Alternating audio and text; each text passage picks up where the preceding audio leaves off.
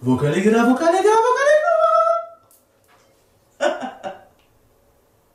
Bonjour les rois et les reines, je suis ravie de vous retrouver pour une petite bulle de questions-réponses. La question d'aujourd'hui c'est est-il possible d'étendre sa tessiture vocale? Est-ce qu'il est possible de s'améliorer dans la vie? Ça revient à ça, n'est-ce pas? Mais bien sûr que c'est possible d'étendre sa tessiture.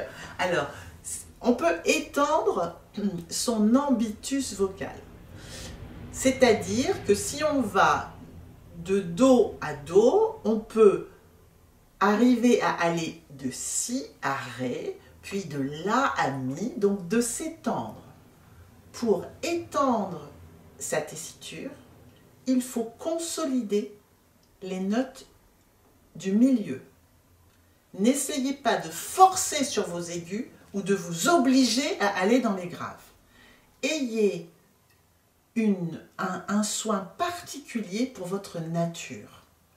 Plus vous serez libre dans votre tessiture naturelle, et plus vous aurez l'amplitude qui va pouvoir se déployer. Parce que vous aurez appris dans votre tessiture naturelle à détendre votre larynx.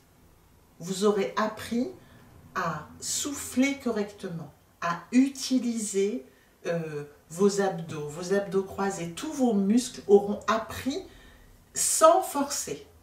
Et ça, va devenir votre nature. Votre voix va comprendre « Ah oh ben oui, c'est fastoche de chanter comme ça ».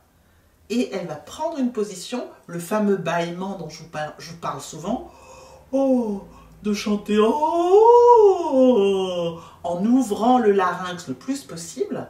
Et ben chaque fois que vous allez essayer d'aller plus aigu ou plus grave, comme vous aurez la bonne position, puisque vous aurez appris à chanter là où c'est facile, et ben vous allez pouvoir étendre, étendre, étendre beaucoup plus.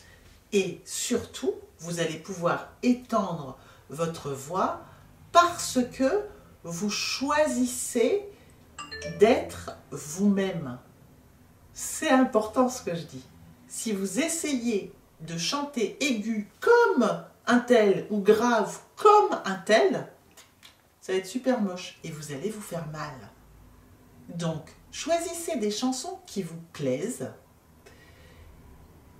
et essayez de les chanter un peu plus aigus que d'habitude ou un petit peu plus grave que d'habitude évidemment, après avoir fait vos vocalises sur les vocalises du bonheur. Hein. Vous, ne vous lancez pas d'un coup, paf, tiens, je vais chanter euh, une chanson euh, super difficile de Maria Carey, avant d'avoir fait des vocalises. Non.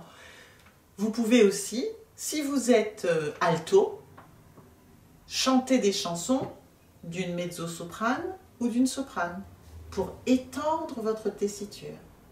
Vous pouvez choisir de chanter une chanson d'homme, pour voir comment vous pouvez arriver à chanter des notes plus graves. Vous vous rappelez des chansons graves avec le sourire ou en nasalisant. Quand, c'est grave, c'est pas grave. Et bien, de bien ouvrir le larynx. Mais dans tous les cas, développer sa tessiture vocale, développer sa voix, c'est mieux si vous avez un prof qui vous aide au jour le jour et une technique pas à pas.